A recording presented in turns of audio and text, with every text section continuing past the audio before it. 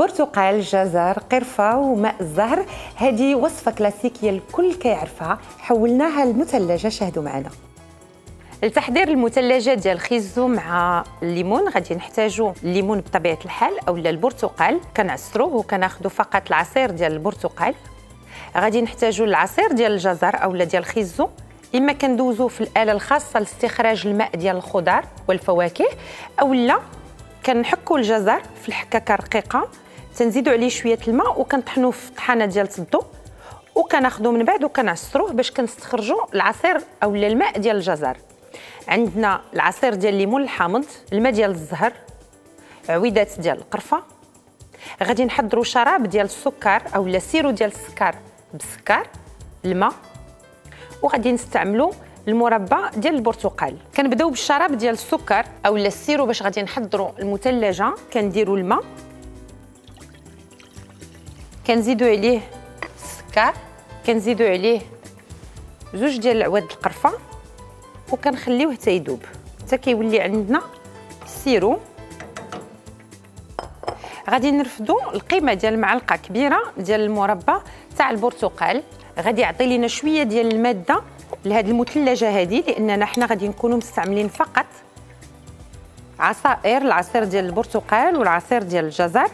فهذيك اللسعة ديال القشرة ديال البرتقال كتجي لذيذة. غادي ناخذ العصير ديال البرتقال كنزيدو على المربى العصير ديال الجزر.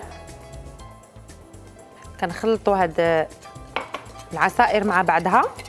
ولأننا عندنا هنايا ال sirop ديال السكر اولا شراب ديال السكر. بغينا نهرسوا له داك الحلاوة ديالو كنديروا العصير ديال الليمون الحامض وغادي نزيد الماء ديال الزهر اللي غادي يعطي لنا واحد الطيبة هائلة لهاد المثلجة. دابا كيكون ال sirop جد ديال السكر كنضيفو هنايا على العصائر. وهذا ال sirop ديال السكر هو اللي غادي يخلي المثلجة ديالنا ما يجيوش فيها داك البلور ديال الثلج اللي كيحجر وكيخلي المثلجة ما تكونش ناعمة. دابا غادي نغطي هذا الخليط هذا وغادي ندخلو للثلاجه حتى كيبرد. كيمكن لي نعملو غير في الجهة العادية ديال الثلاجه حتى يدفى وعاد باش ندخلو للمجمد أو لا إلا كنت كنحس به انه دافي كنقفل عليه بالبلاستيك وكندخلو مباشرة للمجمد. كنخرجوا العصير بعد ما خليناه تقريبا واحد الساعة في المجمد حتى كيقصح شي شوية كيبدا يتجمد. هانتوما كتشوفوا معايا كيفاش ولا. داز من داك الهيئة السائلة ولا هكذا شوية قاصح دابا غادي نهرسوا داك البلور ديال الثلج اللي تكون في العصير.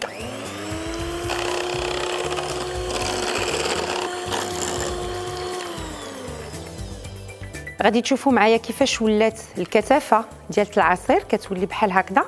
غادي نعاود نغطيه وغادي نرجعوا للمجمد. حتى كيعاود يقصح وكنخرجوا وعاود كنخفقوا بالطراب الكهربائي.